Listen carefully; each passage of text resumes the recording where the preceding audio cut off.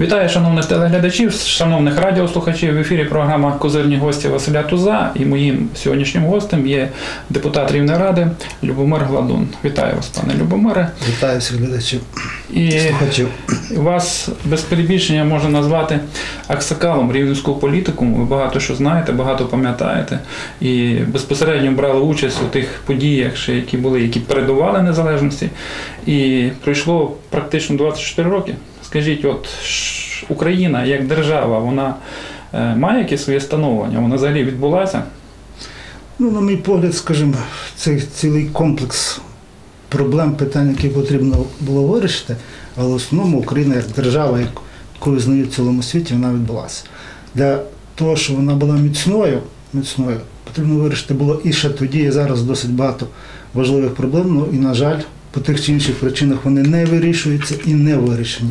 Тому якщо у когось скрадається сумнів, що в нас немає держави, переконаний, вона є, вона стає потужно, особливо після останніх подій на ноги, і нікому ніколи не вдасться стерти з карти землі державу Україна. А якщо помріяти, от і вона могла бути, мабуть, і трохи сильнішою. Звичайно, ну от бачите, якщо ми через 24 роки проходимо до того, що треба було зробити ще в 90, 91-му році, коли я був депутатом міської ради. Ну такі прості скажімо, тривіальні речі. Якщо ми перейшли від одної системи до іншої, то цей перехід або здійснюється, причому здійснюється різко, можливо, з порушенням деякого законодавства, або він затягується на роки. От у нас, на жаль, цей період затягнувся на 20 лишнім років, я маю на увазі заборону комуністичної ідеології, всякої символіки. Ті роки 90-91 ми депутати міської ради, як зараз пам'ятаю, коли проводили сесії міської ради на Майдані Просвіти 2, і ззаді був такий здоровезний, здоровезний кам'яний, ну там був гіпсовий бюст Леніна весь час. Я тоді піднімав питання, навіщо він? І все було пояс, а може, а що буде, якщо ми його впустимо? То треба було, щоб відбулися події тоді в 91-му році, щоб його просто впустили. А рік депутати збиралися і дивилися прямо на вождя, і був острах, хоч тоді і ніби керівництво міста було демократично сприймання. Це такий острах якийсь був, що можливо повернення назад. Якби от цього остраху не було, і тоді перебороли в себе, що ми йдемо вперед, назад вороття немає, ми давно вже було б серед тих європейських держав. А що завадило? Завадила якась інерція, комуністи. Ну, завадили, скажімо, на той час у нас було 180 депутатів, якщо розібратися.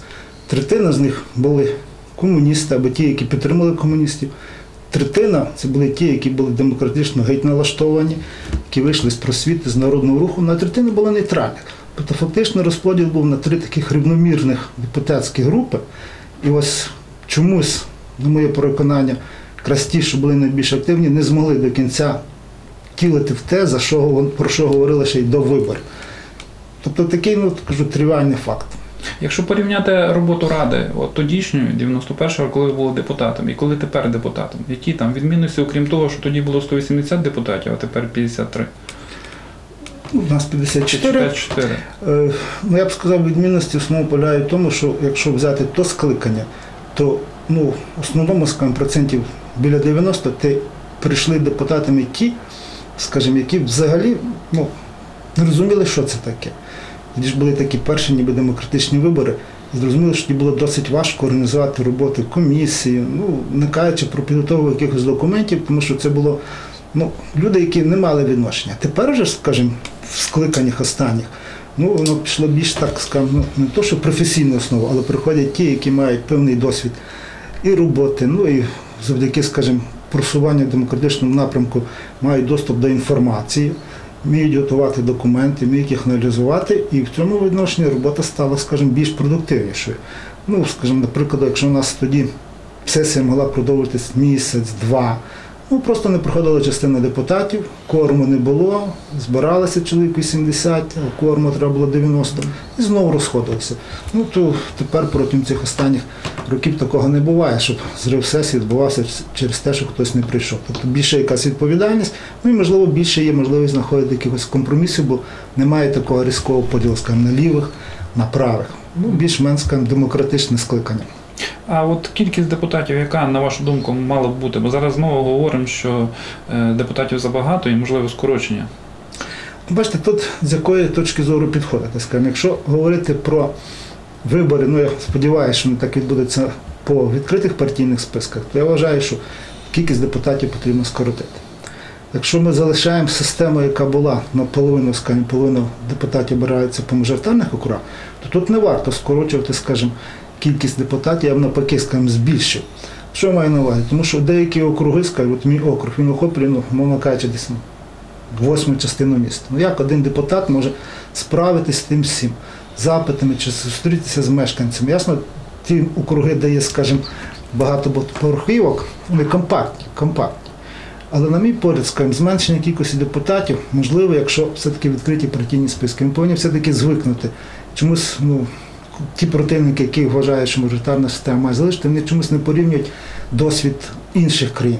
Немає, принаймні я такого не чув десь по телебаченню, що якийсь там депутат в Німеччині, Англії щось зробив. Є партія, політична сила, яка взяла на себе певні зобов'язання, приходить певний термін. Якщо вона з ними не справилася, вони чітко розуміють, що на другий раз їх мешканці не оберуть. Те, що розповідають, що до кожного округу доходити, ну, на мій погляд, я про це не розказував. Депутатська робота це не ходить і шукати кожну ямку біля кожного під'їзду. На це є відповідні служби. Депутати повинні так зуміти організувати роботу виконавчих структур, щоб ці проблеми найбільш гарячіші вони вирішували, а не депутати. А от розробкою стратегії, розробкою певних програм, контроль над тими програмами. Це я вважаю, мають бути депутат, функції депутатського корпусу, і за це повинні відповідати певні політичні партії, які повинні не писати програми в один-один з відміною в якихось абзацах, а щоб люди зрозуміли, що тут є відмінності, і ми побачимо, що ця політична сила зробила. А що і не зробила? Ну, от ще у лютому 2012 року в одному з інтерв'ю ви говорили, що е, місту потрібна єдина стратегія для вирішення земельних фінансових питань. Е, Ця стратегія вже знайдена у нас? На жаль, поки що ні. І ну, таке враження, що в цьому скликанні такої стратегії ми так і не знайдемо. Ну, всі ніби розуміють, що не можуть вирішувати, скажімо, земельні питання, які в проєкті рішеннях звучать в один до одного, крім самого верху, де є якесь прізвище чи вказана якась фірма, і депутати голосують раз так, інший раз так. Звичайно, це досить багато нарікань. І мешканці міста їх можна цілком зрозуміти, і приватних структур. Тому що скільки не говорилося, але чомусь, не знаю, ну звичайно, це повноваження більше було земельної комісії, все-таки довести, скажімо, цю стратегію, розробити план, і про це я неодноразово на сесії виступав, що ми повинні чітко знати, і мешканці, і приватні структури, якщо піднімається таке питання, а є загальна стратегія, що це не проходить, значить не потрібно навіть виносити на сесію. А у нас, на жаль, от ті парадокси і неприємні речі, звичайно, якісь міри виникають, тому що не до кінця не розроблено, хоч працювала депутатська група, я не знаю, чому вже більше року така ніби мала запропонувати шлях виходу з цих, з цих- питань. Ну, на жаль, немає ні проекту рішення, нічого. Ви не, не боїтеся, що от ця, е, це скликання депутатів, воно війде в історію як е, садоводи, як е, рада садоводів? Ну, бачите, це, скажімо, питання, яке було видумано, скажімо, нею з політичних сил, спровокувало, скажімо, певні непорозуміння навіть між депутатами, так? І потім воно тихо відійшло назад. Так? Тому що якщо говорити про садоводів, так як тоді почали, ну, Ну, нагадаємо, садоводи це дерибанщики землі орієнтовно, так? Ну, Якщо ну, хтось так. не, пам'ятає. Ну так ніби хотіли їх назвати, але реально ніхто з тих, кого там звинувачили земельні ділянки, ніяк не отримав. Я скільки разів говорив, якщо розібратися, скільки земельних ділянок під час тих чотирьох з лишнім років, поки працюєте скликано, було віддано якраз під садівництво мешканця міста, тут всіх інших також можна було б назвати садоводом. Ніхто з депутатського корпусу не отримав. Можливо, там були якісь намагання, так, намагання це можливо природньо, але ж ніхто нічого не отримав. Ми все ніби вперед. Якщо б хтось отримав, тоді можна говорити, що він такий сякий. Люди нічого ще не отримали, їх вже там в пресі кругом скажемо, що вони такі сякі. Ну, на мій погляд, це просто некоректно було з однієї політичної сили, хоч вона, як показує досвід, хто занадто, скажімо, когось звинувачує, і потім це все назад повертається. Ця політична сила втратила вплив майже повністю в Рівненській міській раді. Тримайте злодія, як кажуть, так? Так, звичайно. І от вона втратила політичний вплив, і про неї вже майже в міській раді не чути. Ну, а, з чим тоді пов'язана якраз розколу фракції Батьківщина, якщо не землею? Ну, там були більш принципові питання, які були зв'язані якраз із е, відношенням керівництва обласного, скажімо, і депутатського корпусу. Оскільки тоді фракція Батьківщина була самою більшою, самою потужною в міській раді, так? самою потужною. Декому не подобалось, коли я був головою фракції, що все-таки треба рахуватись з думкою такої кількості депутатів, причому у нас досить багато і досвідчених депутатів, які мають досвід роботи, скажімо, підприємців, а не е, виконувати вказівки, скажімо, керівництва, які нічим не обґрунтовано. І це мій підхід, що ми згідні працювати як фракція від політичної партії, коли ми будемо отримати рішення бюро, міського, обласного, а не дзвінки. Це був перший прецедент, коли я самовільно пішов з голови фракції, я сказав, що я не буду виконувати такі вказівки. Ну, далі воно пішло майже по тому самому. Вийшло два табори. Одні підтримували керівництво, інші не підтримували керівництво. І на тому вийшло ті, що підтримували керівництво, ті залишились, ті, що не підтримували, просто відійшли. І причому досвід, досвід показав, що в більшості випадків ми були праві, бо самі ті, які приїжджали до нас з керівництва вже політради, які нас переконували, що вони праві, на чергових виборах вони чомусь не залишились в батьківщині. На мій погляд, це була спровокована така акція. Вони чомусь не залишились в батьківщині. Коли зустрічаю теперішніх керівників, кажу, а чому ті, які нас переконували, що вони праві, чому вони пішли з батьківщини? Вам не здається, що це було спрогнозовано. Найбільша фракція всіх міських радах обласних центрів на Україні була розкола. Дякую. Е, Нашим гостем є Любов Гладун, депутат Рівної Ради, а ми повернемося після короткої паузи.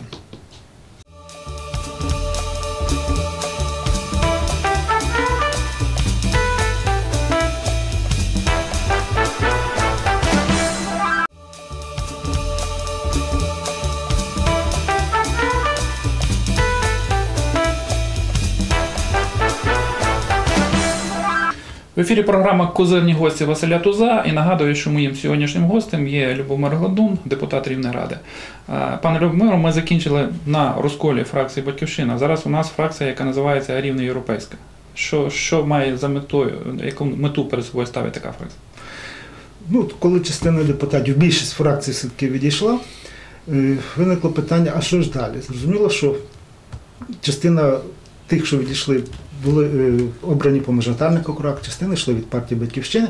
От ми вирішили об'єднатися і спробувати в міській раді просувати, що так можна назвати, просувати, а можливо пропонувати ці проекти рішень, які б наближали нас все-таки до демократичних напрямку е, розвитку самого міста. Ось нашими зусиллями все-таки ми домоглися, щоб головою бюджетної комісії очолив все-таки наш колега Прошуба Віталій, тому що були деякі нарікання відносно непрозорості бюджету. Після того, по-моєму, вони зникли. Тобто пішло більш-менш демократично. Ми також намагалися вносити деякі проекти рішення по програмах, коректування цих програм. Ну, Оскільки фракція не має, е, має, не має більшості, то я вважаю все-таки, що в великій мірі питання, які часом є скандальні, все-таки не проходять завдяки принциповій позиції фракції, що ми не будемо голосувати, якщо скажімо, це протирічить, скажімо, ну, якщо по-простому сказати, здоровому глузду, тому що не можна це, це голосувати. А скільки зараз у вас людей фракції? Ну, у нас залишилось 11 чоловік. 11 чоловік. Ну, Все-таки, досить серйозно. ну, саме більше поки що фракція все одно в міській раді. Ну, у вас, пане Любомире, ще унікальний досвід тим, що ви і працювали в різних виконавчих структурах, при різних мерах. Якщо порівняти як цю роботу, коли було е, цікавіше, коли не дуже. Ну так, мені в принципі випала нагода, що я працював зі всіма мерами, які були в тій чи іншій постасі, то заступником міського голови, то депутатом. Ну, звичайно, що саме важче було працювати це 90-92 рік. Це були самі важкі роки, коли все починало становити, все робилося майже з нуля. Була, скажімо, був супротив великий ще тоді досить потужної комуністичної партії. Потім було досить важко працювати, коли я був заступником мера 94-97 роки, коли йшла якраз інфляція, невиплати заробітних плат, проблеми в соціальній сфері, організація нових служб, невистачання бюджетних коштів. Ну, це просто, коли повірте, я зараз от, е, ну, слідкую все-таки за роботою виконавчих структур, і коли проблема, скажімо, як використати кошти в деяких випадках є, то тоді була проблема просто, а як же хоч десь би щось знайти. І добре розуміли, що сьогодні не йшли, а партійна інфляція яка тоді стрибала. Післязавтра це вже було ніщо, а місто повинно було жити. Тому, скажімо, тоді було набагато важче працювати. Розуміло, що зараз також непросто, особливо це останній цей рік, коли е, місто, місцева рада отримали, скажімо, більше повноважень в фінансовій сфері. І тут досить, скажімо, такий, я би сказав, момент пікантний, і мені б хотілося, можливо, наші слухачі до того повинні приєднатися. що все-таки громадськість повинна зрозуміти, що ці цифри, які звучать про виконання бюджету, вони є. Але питання буде, наскільки вони будуть прозоро використані. Я не кажу, що якісь буде зловживання, але я б хотів сказати, що громадські все-таки залучилися, громадські різні організації для того, щоб цей перерозподіл, що він, мабуть, буде в липні, скоріше всього, цих коштів, бо називають, дійсно мільйони, десятки мільйонів по виконанню бюджету, що вони не пішли, скажімо, на передвиборні обіцянки якихось політичних сил, які спробують зробити так зміни в бюджеті, бо тому що вибори все-таки, я думаю, восени будуть. А що таки громадські залучилися, і це переконання пішло, скажімо, для користь мешканців міста. Якраз настає той період, про який я також неодноразово на всіх сесіях говорив, що ми тепер повинні, і депутати, які потім будуть обрані, виробити стратегію розвитку міста. На жаль, у нас поки що її такої чіткої немає. Тобто всі розуміли, що цього року буде фінансувати, скажімо, одна галузь, інша ні. А то в нас виходить, що ми по чуть-чуть кожному, а якогось прориву в чомусь немає. І це я вважаю біда всіх міст, бо вони зіткнуться так само з тією самою проблемою. Як ці лишні кошти використовувати? А от е, робота з яких мерів, от на вашу особисту думку, була найбільш ефективною? Ну, розумієте, це все в порівнянні по яких напрямках. Скажімо, була досить ефективна робота, скажімо, е, е, Володим... Е, Мороз? в Володимир Мороза. В чому? Бо якраз тоді становилися скажімо, засади розвитку місцевого самоврядування. То, що всякі звинувачення були по інших питаннях, це було зовсім інше. Був розвал підприємств, все. І повірте, що наше місто не виглядало гірше, ніж інші. Хоч були звинувачення.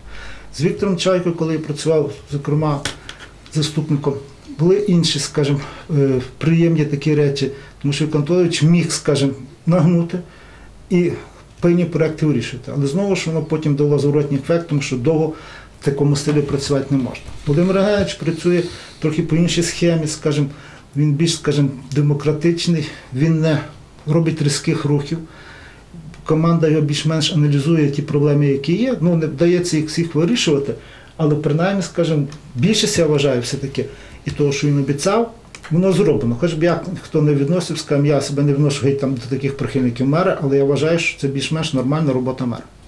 А якщо піти наперед, от вибори у нас будуть 25 жовтня, сподіваємося таки, що вони будуть. А, який мер потрібен зараз рівному? Тобто були різні етапи, бо свого часу Мороз щось вирішував, Чайка, вирішував Володимир Євгенович Хомко, вирішує. А от знову ж таки на майбутнє. Ну, майбутнє я все-таки вважаю, що потрібен мер, який не буде нагинати. Це в першу чергу. Мер, який повинен зуміти зорганізувати якраз в мірі е, в того, по мірі того, що все-таки буде і адміністративна реформа, буде і реформа органів місцевого самоврядування, зумів би зорганізувати роботу різних структурних підрозділів виконкому і в тому числі депутатського корпусу. Що місто все-таки не мало те, що ми згадували якісь проблеми, які не вирішені роками, і здавалося, вони нагальні, і ну, питань навіть не виникає, чи їх треба вирішувати. От треба мер, який би міг це все разом об'єднати і враховуючи досвід тих передових міст, не тільки, скажімо, України, але і ближнього зарубіжжя, як вони йшли в, напрямку реформ. Тому що, на мій погляд, е, закиди, які були раніше, що мер це господарник, ну я ніколи з цією точкою зору не згідний, бо я завжди казав, що президенти багатьох держав були артистами, там, ну, Бог зна ким, але це не означає. Господарник для цього є відповідні структури. Структури. Мер не може бути там артистом тільки чи будівельником, чи ще кимось. Він повинен зуміти зорганізувати навколо себе команду, яка б давала ідеї, він давав ідеї, і це було б на користь мешканцям міста Рівна. Якщо глянути на рівненський політикум, є прізвище нового мера? Ну чи принаймні які б хотіли, чи бачите, хто може претендувати? Ну, бачите, я так слідкую з камі за пресою, за телебаченням. Е, ну, у нас стандарт, ну, воно, в принципі, якось співпадає з тим з твоїм досвідом.